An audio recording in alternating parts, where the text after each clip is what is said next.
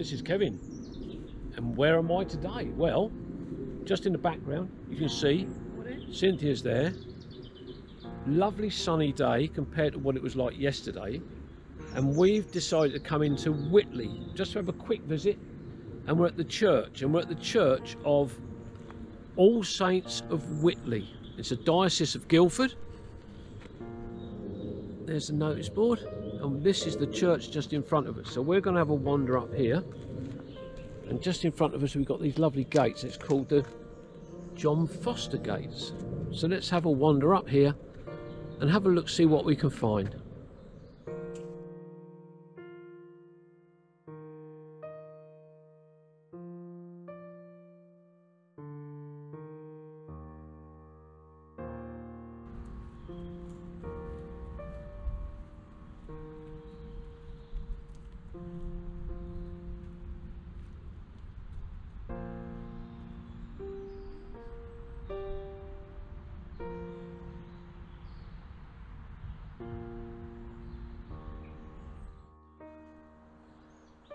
if you look at this porch, the slates on the roof are amazing.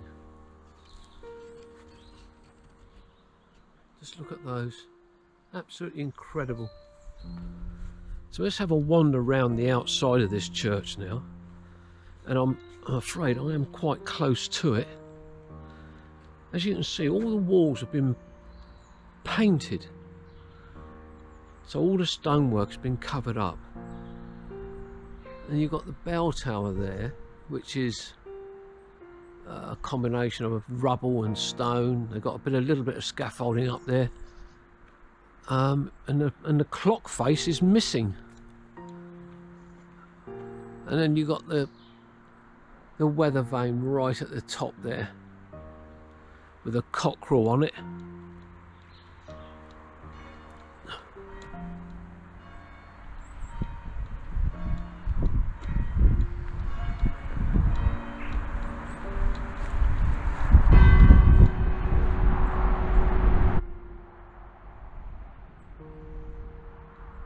That tells me it's yeah. The um, we were working trying to work out just now how they got to the bell tower, and you can see just in front of us that um, round tower, I suppose you would call it, is going up. So if you go up inside there, there is a doorway just in this south south corner.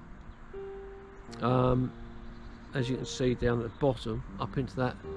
So they're obviously refurbing all the, the clock faces. There's certainly two. One is missing completely. Let me just try and back away from the church a bit. And unfortunately I've got to walk through these headstones. And the headstones are very very tightly packed together. And then up at the top there on the east end of the church you can see a clock face which has clearly been restored and it looks absolutely wonderful. So I'm assuming they get down onto that, those uh, scaffold platforms from above because there's no ladders so they have a they drop a ladder down I would have thought onto the platforms and that's how they reach those. But let me just try and squeeze past these headstones. Look at the size of the buttresses on this on these on this church. They're huge. Probably three or four feet uh, thick. You got the way line there, just in the corner. But let me just back away here and show you how tightly these headstones are all packed together the base of the headstones in most of them is probably a foot apart. And that one just at the bottom there says eight, uh, 1785 Cynthia clicking away with her camera as she always does for me. That's all right. No no you're fine. You stay where you are. So this is the double um, you got the chancel here on the left hand side and then on the right hand side you've got the lady chapel but I'm not sure if I actually like the way the church has been painted. It stands out, definitely stands out, but I don't know, it just seems a shame that the beautiful stonework has been lost. I'm, guessing there was a, a lot of deterioration in the in the walls and the stonework and they've they've done that to try and protect it. So we all come around, there's a dip there. This is unusual. We've got a little back porchway here on the north side of the church, which is tucked up into that corner. Let me just see if I can get into here a little bit and show you. There it is, which is rather charming actually. Lovely little porch. Let me just back away through the cemetery again. When you get to the north side of the church, there's a, a rather large cemetery with all these different headstones. Cynthia seems to have found something over there. Let's see if we can get round to it and have a look. There's a little footpath here. Let's have a look, see what we can find over here. Past these trees whatever it is, it's tucked away right in the back corner of the churchyard. And what we got here, let's have a look. Oh right, okay. Oh that's amazing. Oh look at their ages though. 13, 15. Let me just show you this. In memory of the following boys who died while at King Edward's School, Witley, and are interred in this churchyard. Thomas Newland died September the 21st, 1868, aged 13. William Marshall died June the 25th, 1872, aged 15. And it goes down, you know, ages 12, 13. Let's have a look right the way round. 12, 14, 11, gosh.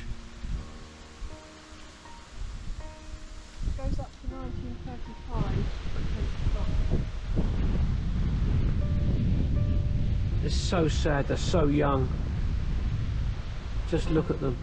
12 year old John A.P. Benn died October the 17th, 1929, aged 12. Thank goodness this side is empty.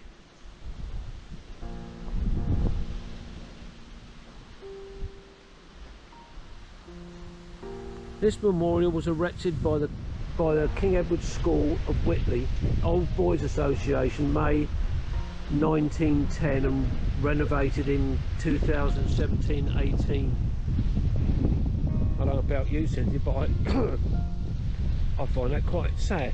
Yeah me too. Wasn't expecting that. No no. But lovely that the school has, has remembered their ex-pupils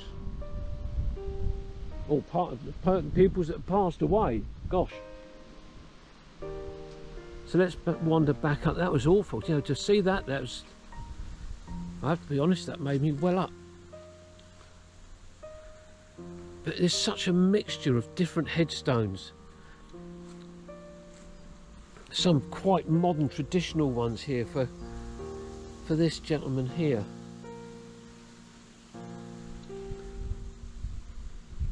Just look at these all the way around here.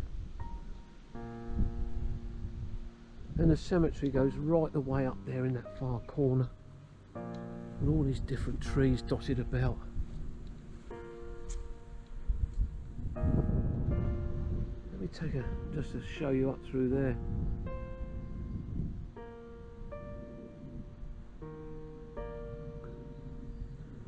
I've got to be honest, that um, seeing that memorial there for those boys has sort of taken the wind out of my sails a little bit, I've got to be honest. As Cynthia said, when you're walking around these places, it's not it's not something you expect to see.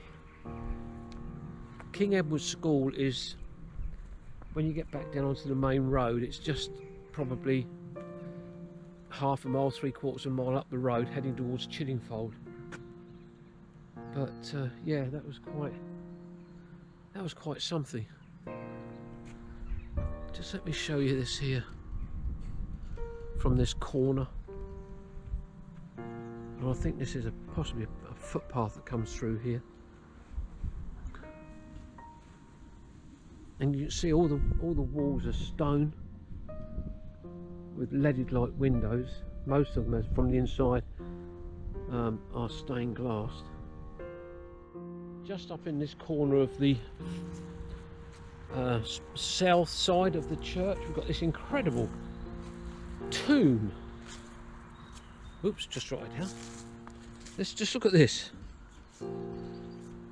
Now we believe that this is a, a tomb in memory of. That's it. Oh, hang on, let me come around this side. He died in 1817, aged 86. And also his wife. Yeah. And I saw some writing on this side as well.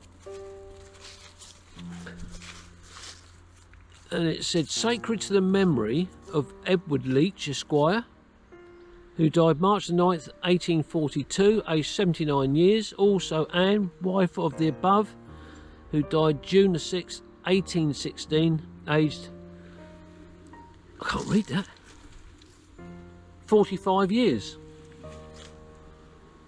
That's that's quite an incredible thing. Let me just wander around this way.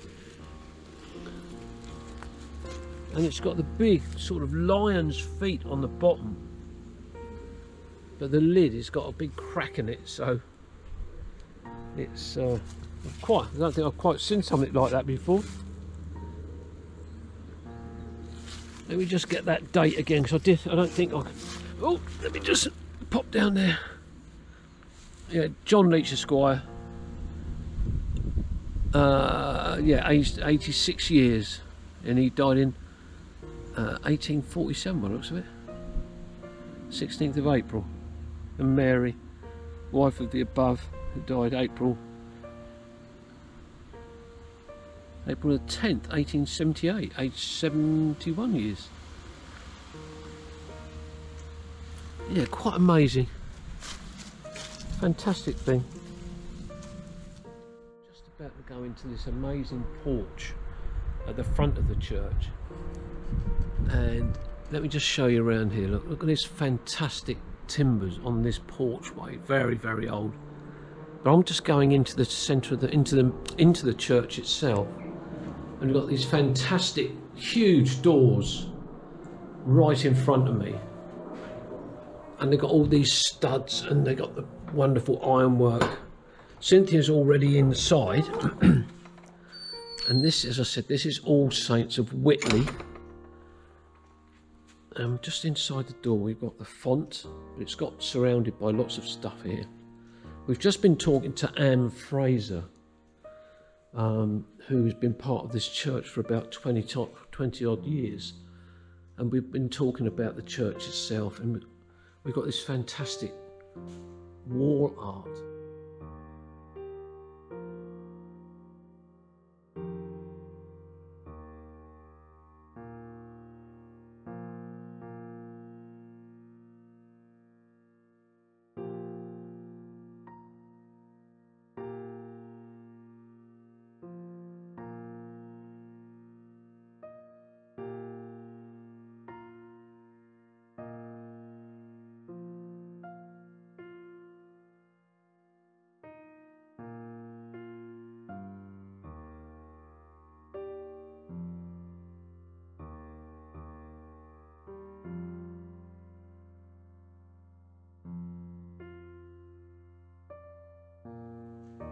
Which was uncovered. And it's all on the south wall of the church as well,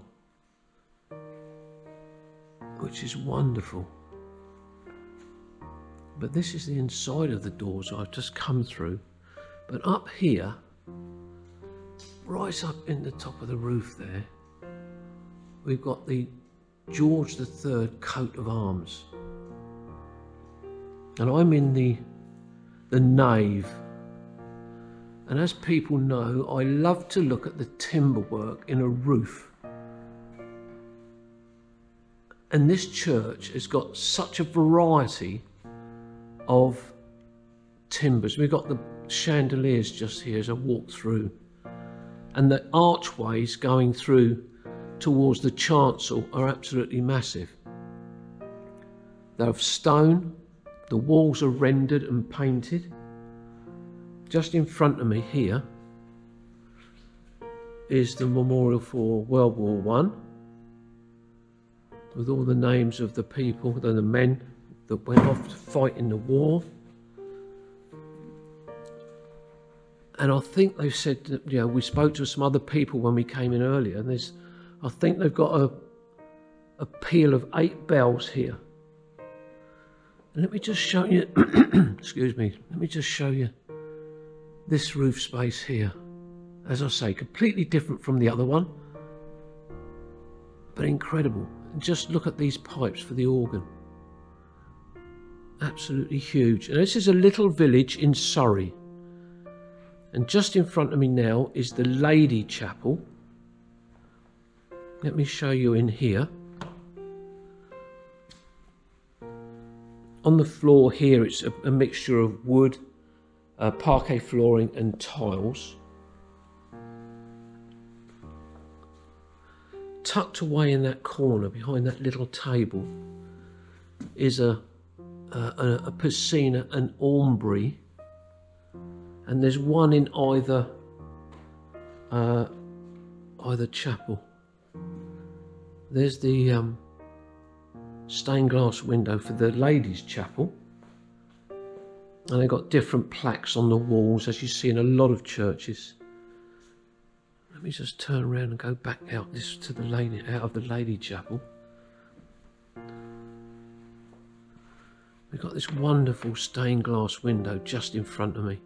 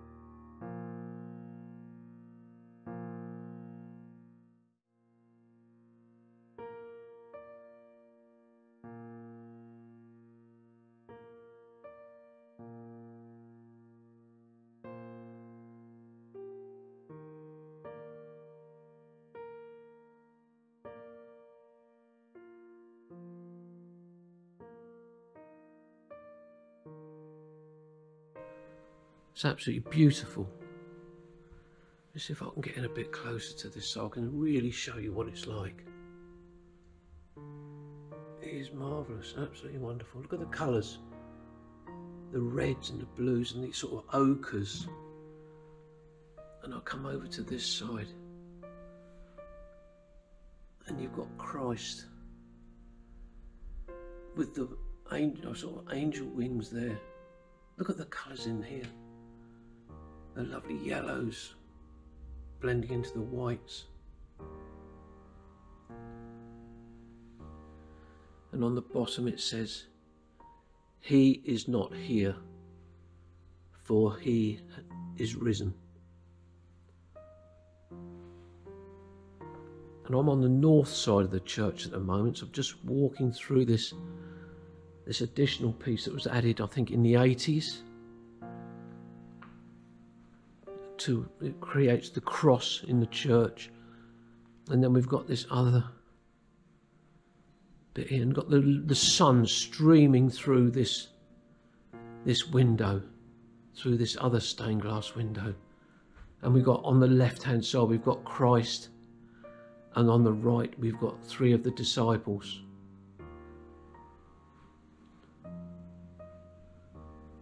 And let me take you up towards the chancel and I'll show you this absolutely remarkable roof. Look at this. And there's all the different words there.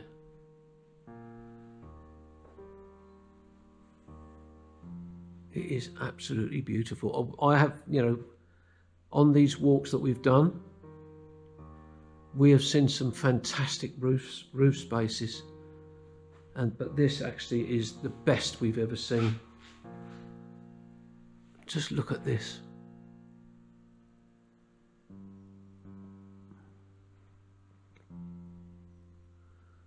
And just in front of us, on the east end of the church where the altar is, we've got this big stained glass window.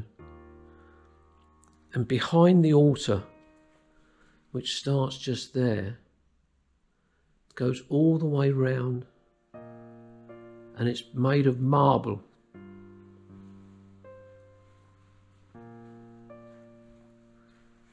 And just tucked away there, that's the other Piscina and Aumbry that I mentioned just now. Again, we've got all these different plaques on the walls. But look at this flooring here. It's beautiful. Again, it's a stunning thing in this very small village.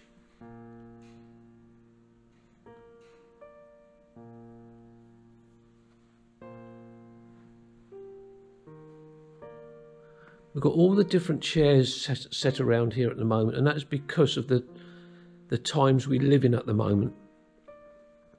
They have to have separate chairs for certain people. So these are all dotted around here, there, and everywhere. But they are getting ready for. They had a wedding here yesterday. Um, which unfortunately was during all that terrible weather we had. And they're planning another one, I think, next week. And as I come back round here, I just wanted to show you this little tiny window which is set right back into the wall on the south side of the church. And within the recess, you can probably might be able to just see that there's the artwork that goes all into there as well.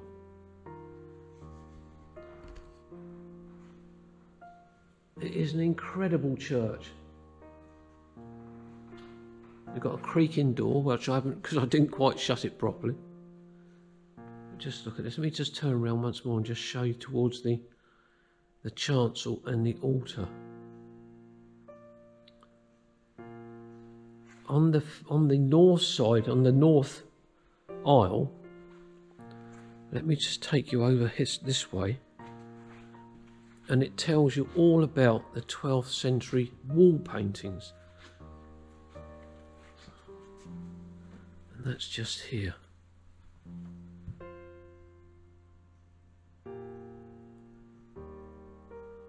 And it explains how you read the south wall with the different uh, wall art or wall paintings.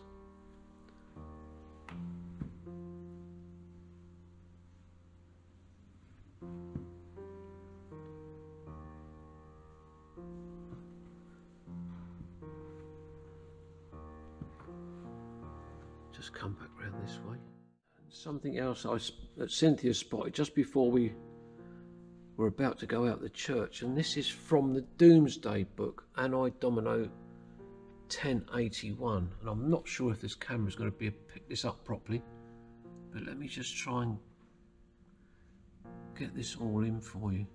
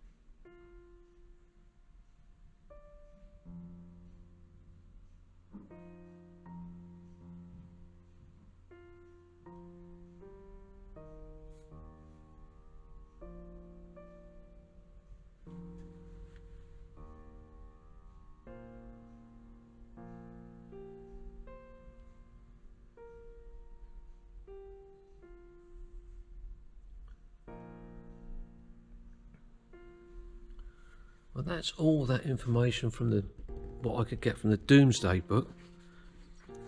And uh, forgive me for doing it so slowly, but I wanted to make sure that you actually could to read the words that was there.